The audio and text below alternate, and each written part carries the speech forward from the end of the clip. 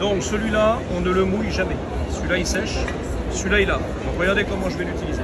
Je l'ai un petit peu mis dans l'eau d'abord, il est un petit peu humide. Au niveau des produits, vous mettez une goutte de liquide vaisselle, c'est. Et là, regardez bien, messieurs, dames, le liquide, lui, qu'est-ce qu'il fait? Il dégraisse. Donc, les miroirs, les carreaux, les baies vitrées, les parois de douche, les meubles de la cuisine, les meubles brillants. Ne rayez pas les meubles, hein, ça raye pas. Quand on a terminé de laver maintenant, qu'est-ce qu'on va faire? On va vouloir sécher.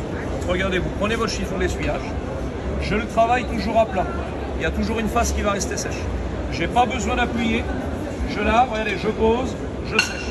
Vous allez absorber l'humidité. Les miroirs, les meubles de la cuisine relaqués, ben, ne rayez pas les meubles.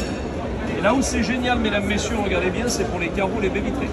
Les carreaux, les baies vitrées en 5 secondes. Comme les laveurs de carreaux, ils passent avec la raclette. Et bien là, on va faire pareil. On va sécher, mais on ne laisse pas de traces, pas de fil. Et surtout, mesdames, messieurs, on n'est pas là en train d'enlever les peluches. Je ne vous cache pas que j'ai besoin d'argent aujourd'hui. hein. Ma femme m'a quitté il n'y a pas longtemps. Et ma belle-mère est tombée enceinte. Non, c'est pas vrai, madame. Alors regardez bien ce que je fais. Donc, une goutte de liquide vaisselle. Vous allez faire la plaque à induction, la vitrocéramique, vous utiliserez l'éponge. C'est plus pratique parce que l'éponge, vous pourrez appuyer un peu plus fort. Messieurs, dames, c'est pas une question d'argent, je vous demande pas d'acheter. Moi, ce que je vous demande, déjà, c'est de regarder comment ça marche. Et je vous demande simplement de constater que là, j'ai pas mis 50 produits, j'ai un chiffon avec de l'eau, et regardez bien, je sèche. En 5 secondes. C'est quand même plus rapide que de mettre de la fédulogie et une tonne d'affaires. Donc, dans le lot, qu'est-ce qu'on a? Vous avez 5 pièces, deux essuyeurs, une éponge, un laveur, et le petit, c'est pour les lunettes. Vous gardez ça dans le sac à main, ça c'est pratique. Le lot complet vaut 24,90 si vous le commandez sur mon site internet. Là, aujourd'hui, pour la foire, payez-moi le lot à 20 euros, le troisième paquet, et je vous fais tout ça pour vous. Donc là, vous pouvez y aller. Rapport qualité-prix, un matin.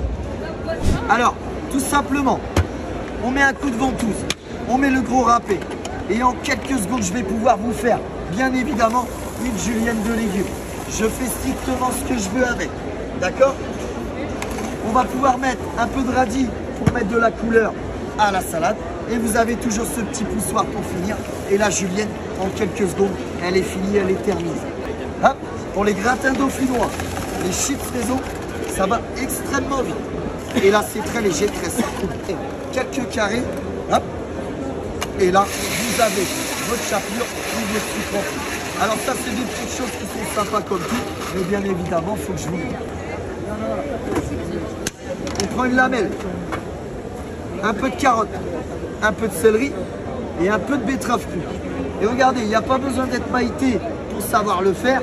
On y va, on tourne. Et là, vous allez couper les extrémités. Et en quelques secondes, vous avez un petit sushi de légumes. À l'apéro, c'est sympa comme tout. Ma dernière question, c'est qui c'est qui boit de l'alcool? Moi aussi, tous les jours. Je suis breton, c'est normal. Là, on prend le gros râpé. Pour les moritos et les Jet 27 du samedi soir, la glace Billy. C'est juste pour vous montrer que je fais strictement ce que je veux. Morito, Jet, Granita, vous allez pouvoir faire votre glace sans problème. Bonjour tout le monde, je vous présente mon invention. Moi j'ai inventé l'enfile couette au poly, donc deux pinces qui sont en acier pour changer la couette facilement. Regardez, on va commencer avec le coin de la housse de couette et on va venir le pincer comme ceci. Je mets la main dans la housse de couette, je remonte la main, puis je retrousse ce qu'il y a sur mon bras pour le mettre par-dessus le crochet bleu, comme ceci. Donc on prend le coin de la couette et on le pince dans le coin de la housse de couette, quelle que soit la taille, l'épaisseur, le poids de la couette. À droite, la même chose, on soulève le coin, quand on lâche, c'est bloqué. On remet à l'endroit, il n'y a plus qu'à enfiler la housse de couette comme ceci en la faisant coulisser. Ça, c'est quand même beaucoup plus facile que ce qu'on fait à la maison. Donc regardez, je continue en mettant les coins du bas. L'avantage, c'est que le poids, il est maintenu là-haut, donc moi, je ne fais aucun effort physique. On va secouer, on se met en face l'un de l'autre, et on va secouer comme ceci pour mieux répartir la couette dans la housse de couette. Le résultat, je vous le montre une fois sur le lit, en quelques instants et sans effort. J'ai changé ma couette et hop, au lit. Donc on s'appelle hop au lit.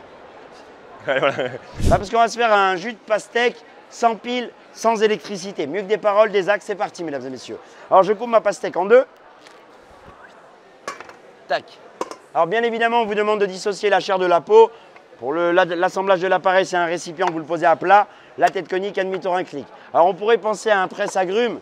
Forcément, ça ressemble fortement. La différence entre les deux, bah, techniquement, ça va être les lames. Vous avez des belles lames et en plus, on a un capuchon en plus. Mesdames et messieurs, on vous demande simplement de dissocier la chair de la peau. Alors moi, je creuse à l'intérieur parce que ma pastèque est destinée à la démonstration.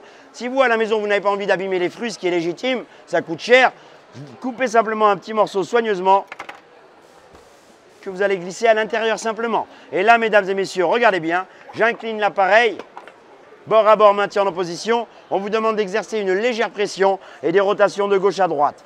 Arrivé en butée, un tour au complet. Ça tombe dans le vide, c'est terminé. Qu'est-ce qui va me rester à l'intérieur de mon capuchon? Du consommable. Tu n'es pas obligé de le jeter à la poubelle. Et j'aimerais vous parler de ma femme rapidement, parce que madame à la maison fait des tomates farcies, et madame fait ceci. Elle récupère sa tomate, madame coupe le dessus de sa tomate, elle va poser son couteau, récupérer le plus petit robot manuel du monde, sa cuillère, et avec une précision chirurgicale, madame creuse à l'intérieur. Vous faites la même chose? Demain, vous allez en faire? Alors regardez bien, je vous apporte une simplicité. Moi, la tomate, je la mets à l'intérieur. Ça tient génial, j'en profite. Maintien en opposition, madame. Un tour à gauche, un tour à droite, un tour au complet. Madame est servie, les tomates farcies, elles sont prêtes en deux secondes. Vous l'avez bien vu Alors s'il fallait creuser plus profondément, à vous de choisir la profondeur, parce que plus je vais remuer mon capuchon, et plus j'ai de la profondeur à l'intérieur. Mesdames et messieurs, regardez bien, en quelques secondes seulement, je mets la macédoine à l'intérieur, zéro gaspillage sur le stand, le coulis de tomate, je le récupère et je m'en sers. Et j'ai l'honneur et le plaisir de vous offrir une recette à retenir. Un gazpacho, tomate pastèque, rajoutez un peu de sel de céleri, un peu de poivre et vous prendrez soin de vos invités. En fait, vous avez votre grille. Là-dessous, vous allez retrouver votre bocal à charbon avec ces deux coupelles. Ça, c'est la cuve qui va récupérer la graisse. Ici, on a un système de ventilation graduée. À votre avis, qu'est-ce qui fait de la fumée sur un barbecue traditionnel? Quand vous mettez les saucisses, la graisse va tomber sur la braise et ça fait beaucoup de fumée. Nous, en fait, on a dû isoler notre charbon et la graisse va tomber dans la cuve. Vous mettez juste un peu d'eau au fond de la cuve, comme ça la graisse, elle va tomber dans l'eau. En fait, ce barbecue, une fois qu'il est chaud, vous pouvez le toucher, vous pouvez le prendre. C'est chaud, mais c'est pas brûlant. C'est ingénieusement fait. Tout le contour, c'est pas chaud. Allez-y, posez votre doigt, mais pas au milieu, attention. Vous avez vu, c'est pas chaud. Vous allez ouvrir le couvercle, et là, vous avez accès à votre foyer. Vous voyez, ça chauffe. Vous avez juste à rajouter du charbon de bois, refermer la coupelle, et le fait de rallumer la ventilation, ça va souffler sur les braises déjà chaudes et repartir. Donc l'allume-feu, on l'utilise que au début, donc c'est très économique. Et là, je sais pas vous, mais moi, je sens bien la chaleur, je vais mettre un peu plus loin. Hein. Donc c'est idéal pour les campings, c'est idéal pour sortir. Vous pouvez le mettre au milieu de la table, vous vous mettez à 4 autour du barbecue, vous faites vos grillades, pas de fumée.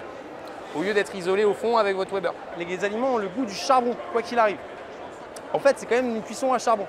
Après, quand vous avez terminé votre barbecue, vous allez éteindre votre ventilation et votre foyer il va mourir. C'est de l'acier inoxydable. Ça peut aller avec de l'eau savonneuse ou directement au lave-vaisselle. Là-dedans, vous avez juste à vider le charbon, passer un petit coup de brosse. Et dans votre cuve, pour faire cuire vos saucisses, vous aurez mis un peu d'eau. Comme ça, c'est plus facile à nettoyer. Pareil, c'est acier inoxydable. Ici, il y aura peut-être juste un peu d'eau, un petit coup de chiffon, ça suffira.